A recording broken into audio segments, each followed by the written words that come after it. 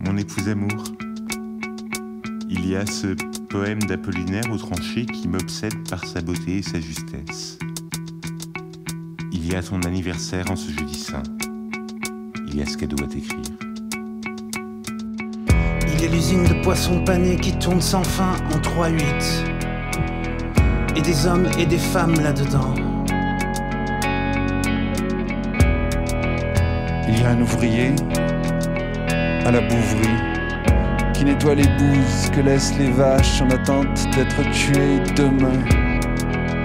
Il y a des gens qui à cette heure mangent des poissons panés, des crevettes ou des steaks, sans imaginer. Il y a, qu'en sachant, je mange des steaks. Il y a mes ongles sales, mon corps puant que je ne sens même plus, et la douche que je n'ai pas encore prise. Il y a dans le monde des hommes qui n'ont jamais été à l'usine ni à la guerre. Il y a que je paierai cher demain ce texte écrit si tard. Il y a mon mal de dos et la fatigue autant que la joie. Il y a qu'il faut le mettre, ce point final, à la ligne. Il y a ce cadeau d'anniversaire que je finis de t'écrire. Il y a notre amour.